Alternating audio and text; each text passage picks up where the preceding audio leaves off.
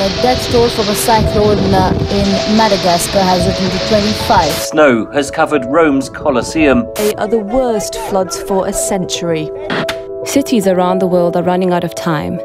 According to experts, 70% of cities around the globe are disproportionately experiencing the extreme effects of climate change. Rising global temperatures affect sea levels, increasing the number of floods, droughts, and storms in coastal areas, where roughly 90% of the world's cities are situated. Cities also consume about two thirds of the world's energy and produce over 70% of global CO2 emissions.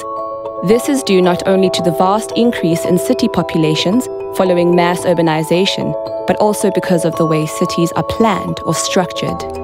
Responses to these issues at the city level can contribute significantly towards global climate proofing efforts. Despite this, many cities simply don't have the capacity, knowledge, or resources to address climate change and its consequences. There is, however, a window of opportunity for future climate proofing, since over 60% of areas projected to form urban spaces by 2030 have yet to be built. But how are future cities going to address the ever growing challenges that climate change creates? The Global Cities Fit for Climate Change, or CFCC project, aims to help cities by generating locally tested knowledge that addresses the important convergence between climate proofing and urban development.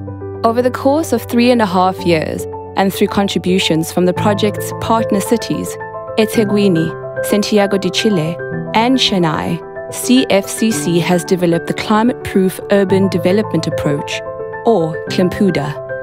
The approach provides a solid framework for cities to refer to in their efforts towards becoming more climate friendly and arose as a response to a single key question What are the most strategically important fields that cities need to engage with in their battle against climate change?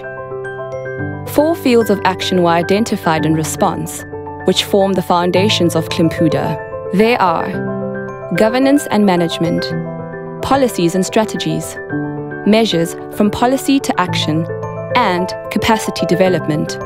These four fields of action are entry points for urban practitioners that provide guidance in developing, implementing, and sustaining each city's own climate proof urban development efforts. One of the main takeaways from CLIMPUDA is that climate change does not adhere to administrative boundaries. It affects cities at all levels of operation. As such, efforts to tackle climate change require multi level cooperation across all sectors of government and society.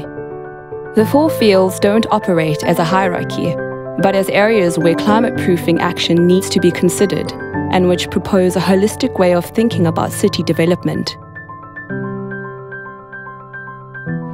The threat that climate change poses is growing, but there is still time to seize the closing window of opportunity to make strategic changes in the way that our cities are developed, improving the quality of life for those who live there. More detailed information about ClimPUDA and the four fields of action can be found in the CFCC's interactive digital sourcebook, published online.